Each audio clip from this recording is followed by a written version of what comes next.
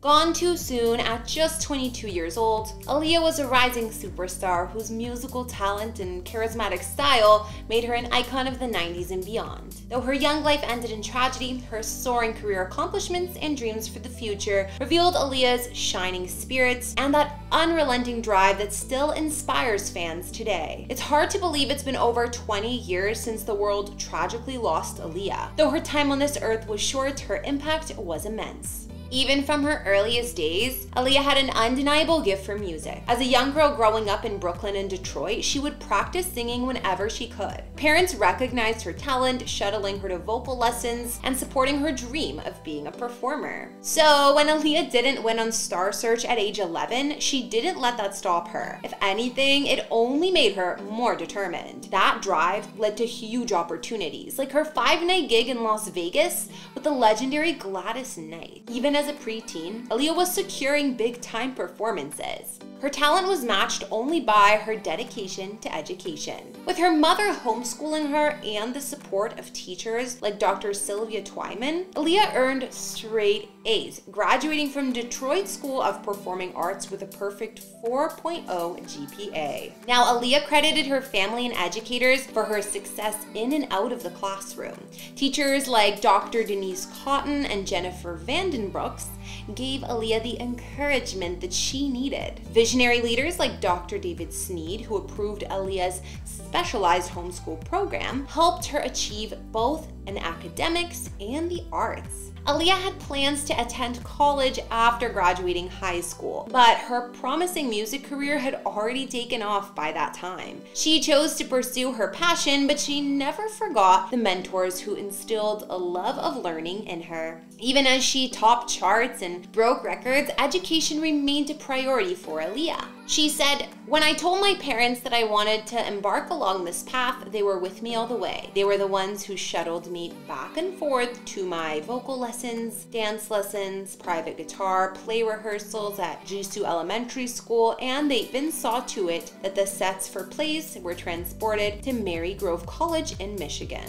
What could be more important? At just 14 years old, Aaliyah burst onto the music scene with her smash hit debut album, Age Ain't Nothing But a Number number. How suitable. The album's first single, Back and Forth, was an instant chart topper, hitting number 5 on the Billboard Hot 100 and number 1 on the R&B charts. Aaliyah remembers anxiously waiting to see how people would receive her music. When the album went gold, she knew she made it. Her unique style and talent paved the way for other young female singers. Soon, Aaliyah's baggy clothes and tomboyish look became a sensation. She once joked that she would never wear a dress or carry a purse. But as you might expect, her fashion sense evolved as she grew into a style icon. Her performance at the MTV Awards in a glam Roberto Cavalli gown showed her versatility. In 1996, Aaliyah cemented her status as an R&B queen with her sophomore album One in a Million. Singles like If Your Girl Only Knew and Hot Like Fire went double platinum, featuring the production talents of Timbaland and Missy Elliott.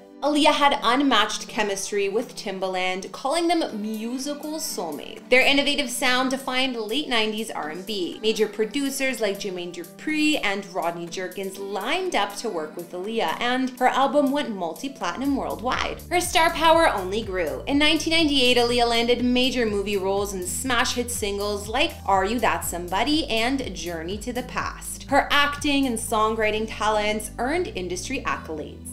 But Aaliyah, she was only getting started. At just 22 years old, she had become an unstoppable entertainer, one of the most successful young artists of the decade. Fresh off her breakout acting role in Romeo Must Die, Aaliyah proved her versatility again by taking on an entirely new challenge in 2001's Queen of the Damned. Sinking her teeth into the role of Akasha, a vampire queen, Aaliyah researched extensively to prepare. She read Anne Rice's Vampire Chronicles cover to cover, and she even discussed the role with Rice directly. Rice was thrilled that Aaliyah would portray her iconic character. To perfect Akasha's movements, Aaliyah worked closely with a speech instructor and mime artist. While demanding the role displayed Aaliyah's dedication to growing as an actress. She continued working with acting coach Harold Guskin, who guided her earlier portrayal in Romeo Must Die. Aaliyah brought the same passion to her music career. Her third and final studio album, released in 2001, showed increasing artistry. She pushed boundaries with experimental tracks like We Need a Resolution and timeless ballads like Rock the Boat. Securing roles in major upcoming films like the Matrix sequels and Sparkle, Aaliyah's acting career was also gaining momentum. She met personally with Whitney Houston to discuss Sparkle, demonstrating her drive to collaborate with the best in the business. The world was shaken on August 25, 2001 by the devastating news that Aaliyah had died in a plane crash at just 22 years old. She had been in the Bahamas filming a music video and was heading back to the United States when tragedy struck. was on a small plane heading to Florida from the Bahamas where she was shooting a music video. Shortly after takeoff, the small Cessna aircraft carrying Aaliyah and her video crew crashed and erupted into flames. Aaliyah and seven others were believed to have perished instantly in the crash. A ninth passenger later died from injuries sustained.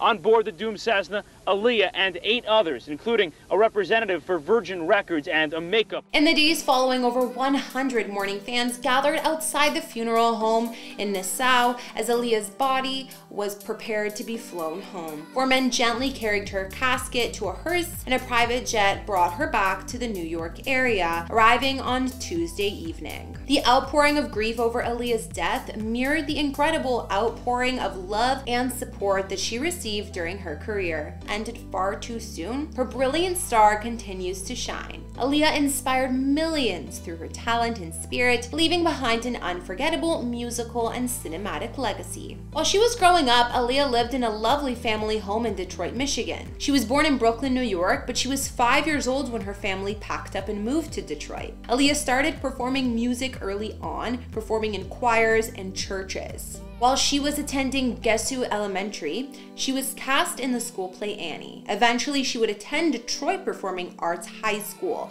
and here she had a 4.0 GPA. Aaliyah was reportedly planning to purchase a three bedroom unit on one higher floor in this building. I can just imagine the sweeping views of Central Park and the city skyline she would have enjoyed from that vantage point. The amenities here were top of the line for the time 24 hour doormen, elevators, valet parking, and even maid services available. For Aaliyah, home was always where her family was, and she wanted to give them the very best too.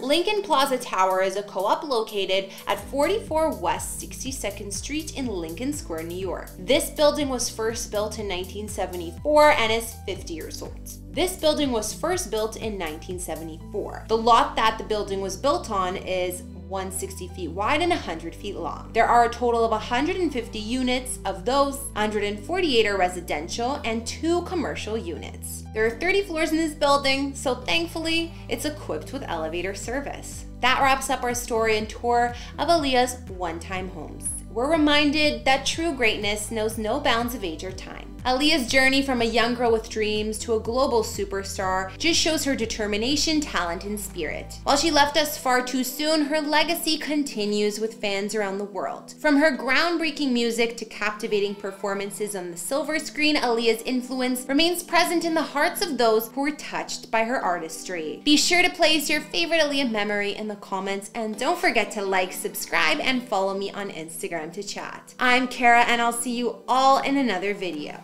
Bye!